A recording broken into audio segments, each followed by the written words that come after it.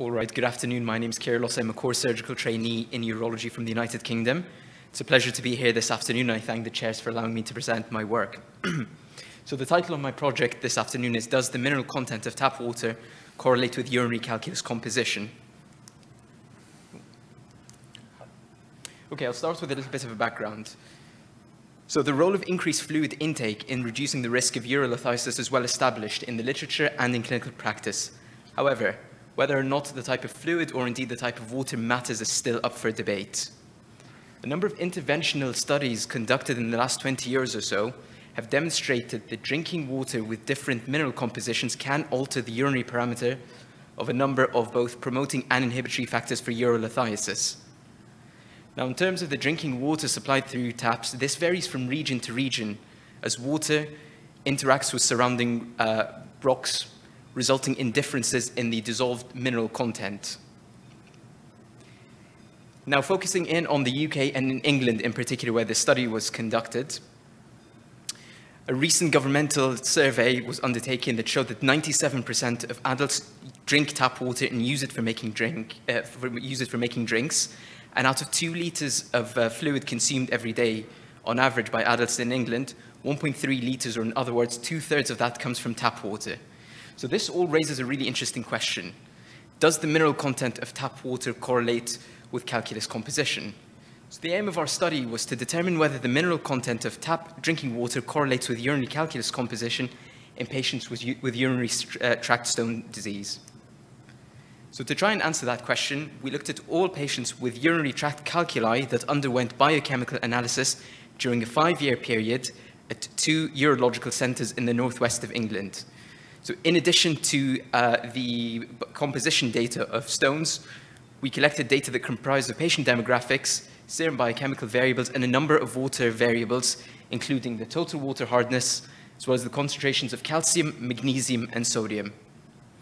These water variables were obtained from the local water supply company using patient postcodes on a case-by-case -case basis and then compared to the calculus composition of that patient. The values that we used represent a rolling mean value over a 12-month period, since there is likely, of course, to be fluctuation in water quality over time. Okay, moving on to the results. So in total, 1,801 calculi from 1,644 patients were included in our study. Now, these patients in our study received tap water from 87 distinct water supply zones. We classified calculi based on the predominant calculus component. You can see here the pie chart here showing the proportional distribution of the calculi in our study. We then looked to see if any water variable could predict any particular water, uh, type of calculus over others using univariate and multivariate binary logistic regression analysis. Now this here is the multivariate table, and it's a little bit busy, so I'll pick out a few things. We found that the water sodium concentration was an independent predictor of urate calculi and a negative independent predictor of calcium calculi generally and calcium oxalate calculi in particular. The total water hardness, the calcium and the magnesium concentrations, as well as the magnesium to calcium ratio, did not predict any particular calculus type over others. What we also did is we looked to see if there was a correlation between the percentage of each of the major calculus components and the same water quality, uh, the same water variables. We found a weak but statistically significant nonlinear inverse correlation between the magnesium, uh, the percentage of calcium oxalate within all calculi and the magnesium concentration in drinking water. And this relationship is here demonstrated in the scatter plot with a smoothing curve. The total hardness, the calcium, and the sodium concentrations, however, did not correlate with any calculus component. So to date, most studies looking at the uh, relationship between drinking water and calculus composition, or sorry, and uh, urinary tract stone disease have focused uh, on uh, incidence or the formation of calculi. Few have looked at the actual relationship to the composition of uh, stone disease, uh, urinary tract calculi. As far as we're aware, the approach that we used uh, in uh, determining water quality and comparing it to uh, calculi on a case-by-case -case basis using patient postcodes is new. Now to, try to make, now to try to make sense of some of the results that we got. So the associations between water sodium are perhaps surprising. Particularly the sodium intake was, uh, so in particular when we, uh, apologies. So the findings, uh, yeah, with regards to the association between water sodium levels and uric calculi, a number of studies that looked at the link between sodium intake and hypertension have demonstrated that increased salt intake is associated with increased serum and urinary uric acid levels. Now, could such a mechanism result or uh, uh, be implicated in the etiology of urate calculi? Likewise, while the role of sodium as a risk factor for particularly calcium calculi is well established, a few studies here and there have demonstrated that at least, or suggested that at least under circumstances, uh, sodium intake can reduce calcium oxalate supersaturation, at least in certain patient groups, and this might be by increased fluid intake and increased urine volume. However, I'm going to take a step back from speculating about what might be going on here, because one important question arises. The sodium concentrations in the water are tiny, okay? So in other words, the quantities that are taken in are very small in comparison to dietary sources of sodium. So are they even physiologically or clinically relevant?